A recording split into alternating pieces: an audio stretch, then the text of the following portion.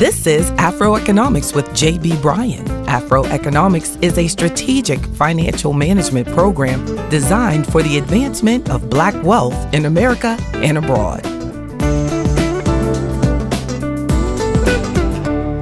Not investing in stocks actually could be risky. We talk about how the stock market is risky and how you might lose your money and uh, what you shouldn't do with stocks and how the stock market will rip you off. And I've seen so much in our community. I hear the fear, I feel the fear of the stock market. But did you think about the fact? that not investing in stocks could be risky. Actually, stocks offer you great growth potential. We're not taught to really think about or focus on learning more about the stock market, but there's so much for that the stock market offers to you and our community, but we have to take the time to learn more about it. If we look at it historically over the long term, see, now the stock market is not a get rich quick gimmick. That's not what it's for. A stock market is about investing in companies over the long term. I've been in business over 20 years. These businesses that you want to invest in, you want them to have a long track record that have proven history of great performance, that are making money, have great both growth potential. And then so stocks offer you great long term growth potential of your money. So, my point here is that not investing in stocks actually could be risky business. You actually can be too conservative, too afraid, too frightened to actually take advantage of an opportunity that could help you reach your long term goals. So, if you are investing for the long term, then consider stocks, consider the stock market. So I have here is that if you have long-term goals, the short-term volatility volatility of the stock market can be insignificant. Now, we should not make long term decisions based on short term changes. And that's what happens. There's a dip in the stock market we typically go crazy, sell our money and then sell sell the stocks and then you're trying to accumulate money or get your money back out of the stock market at the bottom of the market.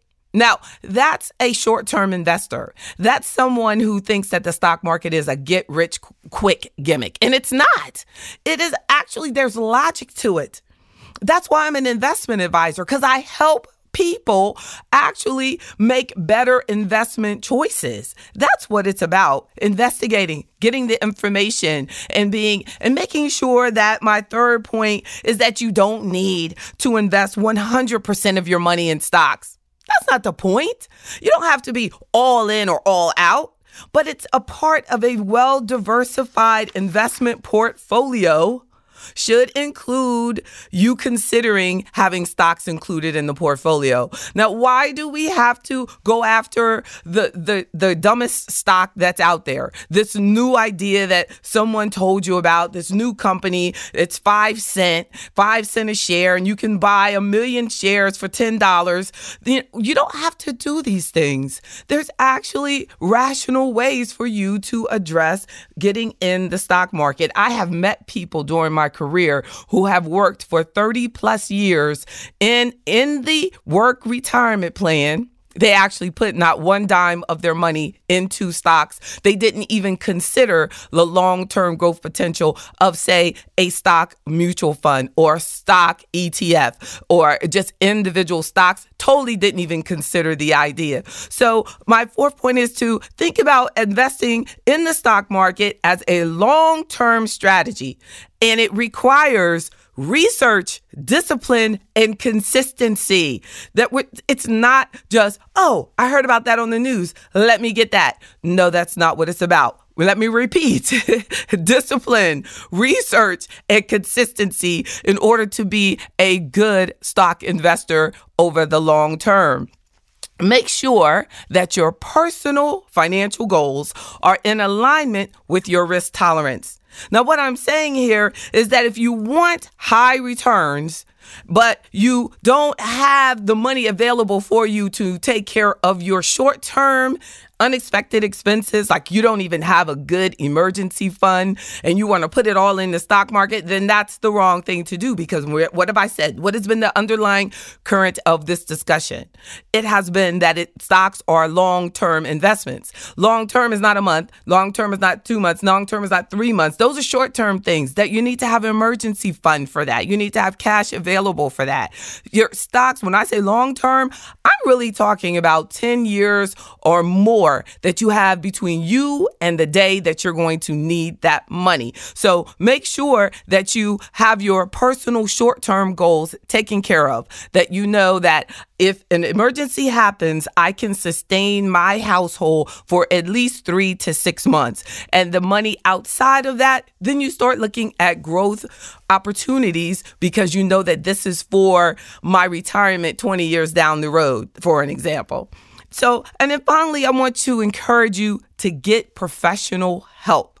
Get professional help when you're talking about investing in stocks, when you're talking about, uh, I want to plan for my financial future, because good financial help will assist you in maximizing the opportunities that you have in front of you.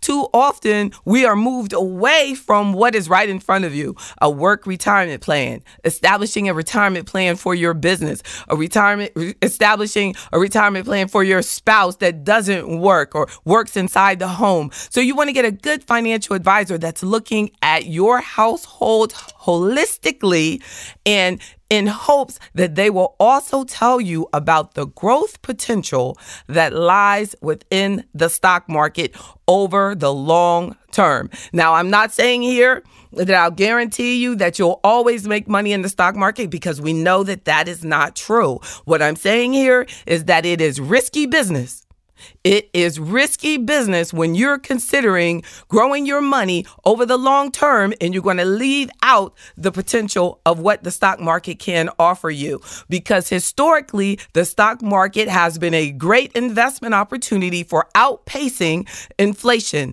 That's the cost of living. The cost of living does go up. So we, if you want to make sure that your lifestyle continues to grow and is enhanced over the lo- long term, then you've got to give yourself, your portfolio, your investments an opportunity to grow. And to grow, that means you're going to have to look at investment alternatives that are designed to grow over the long term, to give you the compounding return over your money. You're investing in, in, in stocks of companies that have long term growth potential and possibly have dividend income that, that is available to you that you can reinvest over all these years as well and buy additional shares. Well, that's what we talk about with Afro Economics. And thank you for sharing your time with me today. This is Afro Economics, and I am JB Bryan, hashtag Afro Economics. Today's podcast was powered by JB Bryan Financial Group, a registered investment advisory firm and the home of Afro Economics in Virginia, Maryland, Washington, D.C., and New York.